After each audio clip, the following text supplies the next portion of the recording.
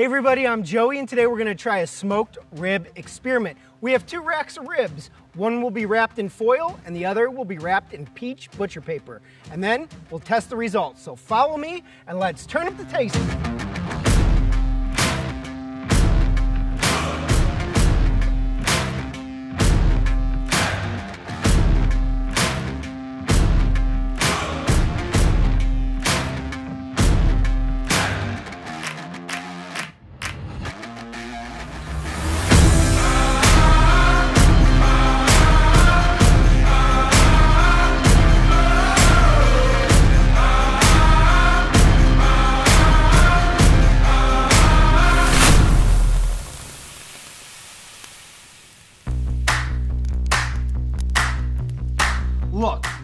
Says summer like some ribs on the smoker, and that's just what we're gonna do today. In front of me, I have two trimmed pork spare ribs. Now, I'm not gonna get into all the nuts and bolts of trimming these things up. You can trim them, not trim them. Frankly, I don't even care. I do like them trimmed, um, and there's a lot of information on the internet about trimming those. Today, we're really gonna focus on a question, namely, when you wrap ribs, which is best? Foil or this peach butcher paper right over here. Look, I've heard a lot of opinions on the internet about which is best. Frankly, I have both. I've tried both, but I've never put them side by side to see which is best. So that's what we're gonna do today. First thing we need to do is get these things seasoned. Now, I like to coat them with a little bit of yellow mustard. Now, I know that's really gonna upset some of you at home. Look, I've heard from award-winning competition barbecuers who use mustard. I've also heard from award-winning barbecue pitmasters who don't use any mustard. They use vegetable oil or nothing at all. It really comes down to your personal preference. For me, I can't taste this mustard. I think it helps the seasoning stick, and so that's what I'm gonna go with today, but this isn't about how to season ribs. It's about the impact of the foil and the butcher paper on the final product. To season these things today, I'm gonna be using some rescue rub from our friends at Code 3 Spices. You can find this online at code3barbecuesupply.com. If you don't have this in your cabinet, we do offer a free recipe on our website for our Flavor Bomb pork rub. It goes really well with ribs and pulled pork, or frankly, use whatever you like. So I'm gonna get my gloves on and get these things seasoned.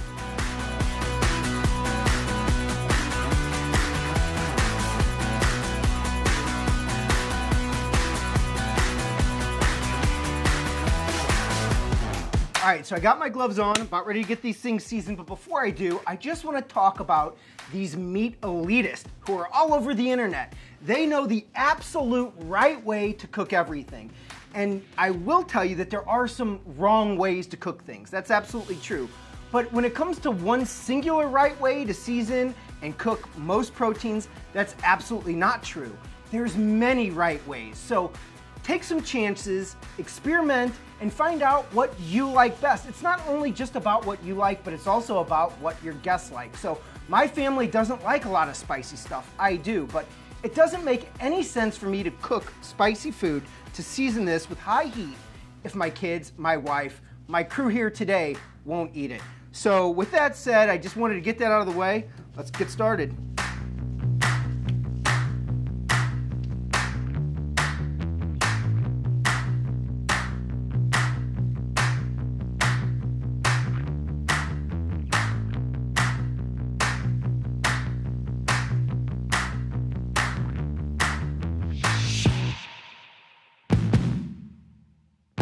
As some of you at home see, this might look like a lot of seasoning, but it's really not. You really want to get this thoroughly coated. It's a, actually a big mistake I see a lot of uh, people who are just getting started make.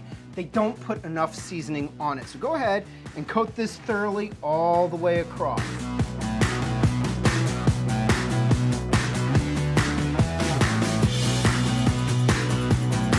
So these ribs are fully seasoned. We're ready to get them on the smoker back there. I know some of you at home are probably wondering why wrap your ribs at all? Well, this is a technique commonly referred to as the Texas crutch, and it really um, helps, uh, I think, retain some additional moisture and speed up the cooking process. But the bottom line is you don't have to wrap them. I see many barbecuers who don't wrap at all, but for me, I do prefer it. It gets them done a little bit faster and that as they're wrapped, it really is a, almost like a braising process. Really helps tenderize that meat. Now, I don't like my ribs fall off the bone tender. I do like a little bit of bite.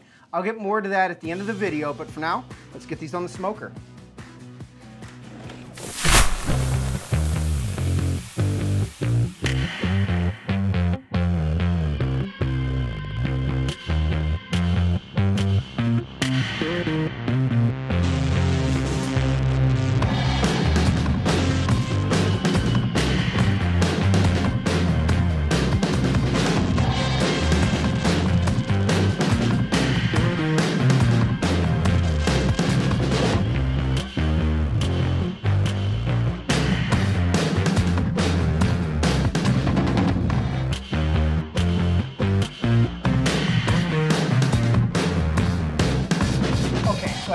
Pulled these ribs off the smoker.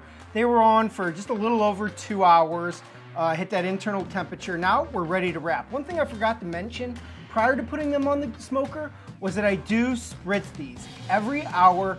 I prefer to use apple juice, but I don't have any, so today I used OJ. In any event, I like to keep a little bit of moisture on those ribs as they cook. Why? Because smoke loves wet meat. I think it adheres to it a little bit better. So that's why I did that. Just wanted to mention it. Now we're ready to get these wrapped up. So the first thing I'm gonna do uh, is uh, throw down some butter in here. I should also mention I'm using two pieces of foil. You'll see that. And the reason that I'm doing that is because foil can rip. And what we really wanna do when we wrap is create a braising effect.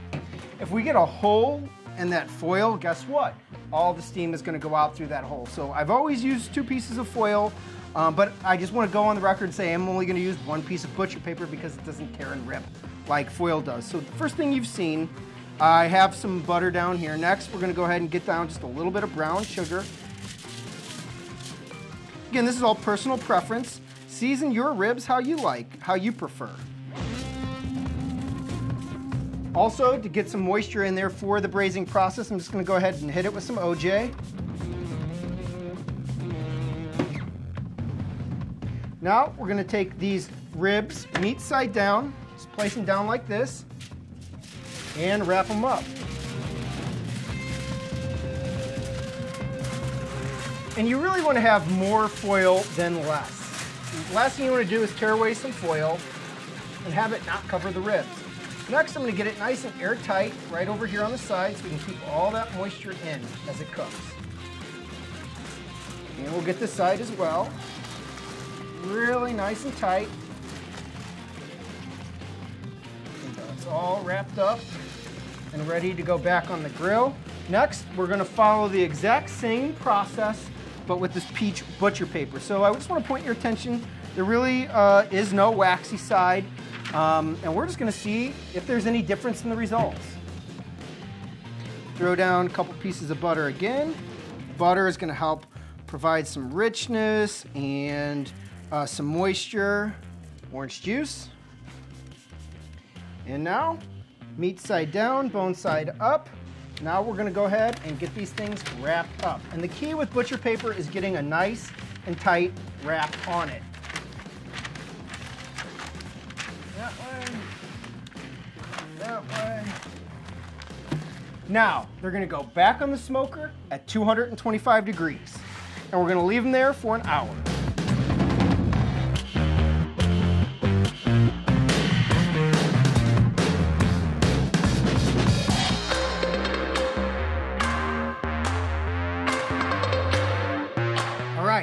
Had these on the smoker wrapped for about an hour. Uh, the first thing I want to bring your attention to is look at the exterior of this paper. It absorbed a lot of the uh, liquid uh, that was in there. So let's open it up and see how it looks on the inside. All right, so we got those out. As you can see, that moisture takes some of the bark off of them, which is why we're gonna get them back on the smoker after this. But let's see how our comparison ribs look over here where you can see a lot more steam escaping already. This was a much tighter seal, but I wonder how that's going to impact the final flavor. Okay, and this is just a little trick I learned from our friend uh, Rob Magee, uh, head chef at Q39 in Kansas City, very well-known steakhouse. So after you take these out after the wrap, you lose a lot of seasoning in those juices. So just go ahead and apply just a little bit more to it. He does this with his brisket, but we're gonna do it here as well. a little bit more. We already had a lot on there. And then what we're gonna do is we're gonna go ahead and get them back in that smoker for about another 30 minutes. Let that bark go ahead and firm up. Now, if you're wondering why these are maybe moving a little bit at a faster pace than they might for you at home, well, as you can see, it's really sunny out there. If you'll remember, I set that pit to 225 degrees, but the temperature gauge at the top is showing closer to 250 because of all the sunlight it's getting. So I'm not gonna leave them in there for another hour. We're just gonna do another half hour, get some bark on there, and then my favorite part, we're gonna test the results.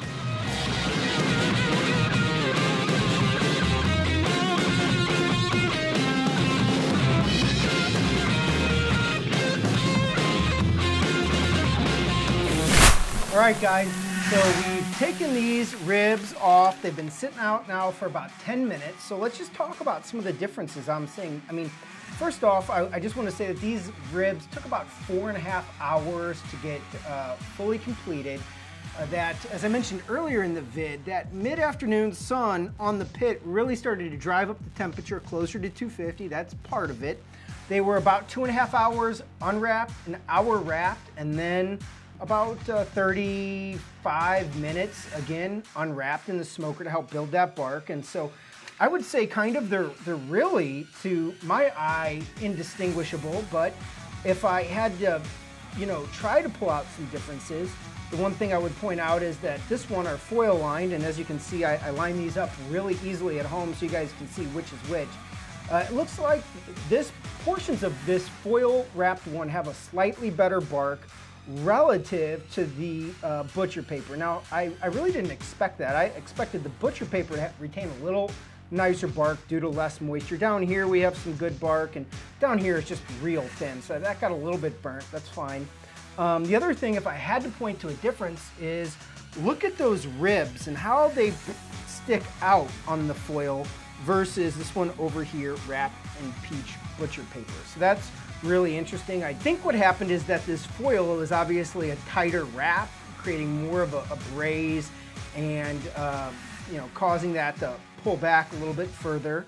One other thing I want to mention, just a quick tip so that you know when your ribs are done. A lot of people, like I mentioned earlier, cook to time, three, two, one, and all that. I, I tried not to do that a good tip to tell if your ribs are completed is that when you pick them up, that, that bark will start to crack. So anyway, let's cut in, see how they taste. I'm just gonna go right in the middle here.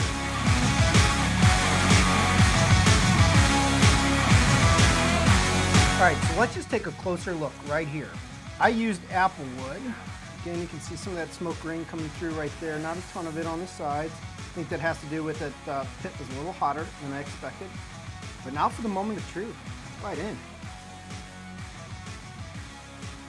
Mmm. It's got a little bit of bite to it. Wow. I this might be a two-hour review, guys. I am just to continue to eat this thing, but I'll put it down just so I make good use of your time. I'll get back to eating them all after the shoot's over. Now, let's take a look at this one right here. This awesome cut rib I did a horrible job of cutting, but let's see how it tastes. Wow. Also, an excellent rib. It's got a little bit of bite, but boy, are they both tender.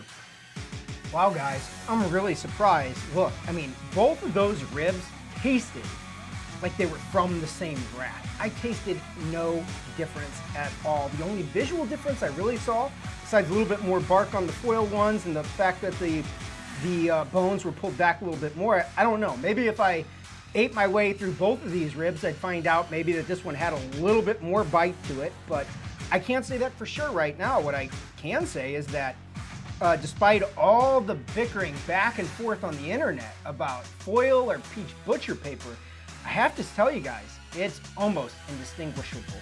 I think that maybe, and I haven't done the research, maybe uh, butcher paper is a little cheaper because you buy it in a bigger roll versus foil being more expensive, but maybe that's it. I really don't have anything else to say. I'm pretty surprised by this. I kind of thought from all the information I read online that the butcher paper would turn out better, but also I want to say one more thing for everyone who's probably going to com complain in the comments below about me using uh, orange juice. You cannot taste it.